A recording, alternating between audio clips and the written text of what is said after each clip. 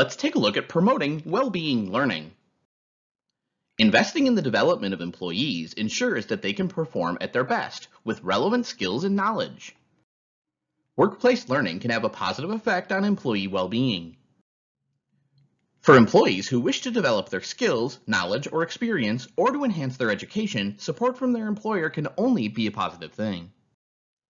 While some development may be mandatory, the provision of employee-directed learning opportunities can encourage employees to grow, develop, collaborate, and contribute. Providing opportunities for employees to learn or, through work, offers many advantages or outcomes for both the employee and the employer. For the employee, the opportunity to learn and develop skills and knowledge can enhance their commitment to your organization, build their confidence and capacity, and encourage them to develop and optimize their potential. Learning can increase curiosity, help maintain and achieve mindfulness, and prepare to help and adapt for change, both at home and at work.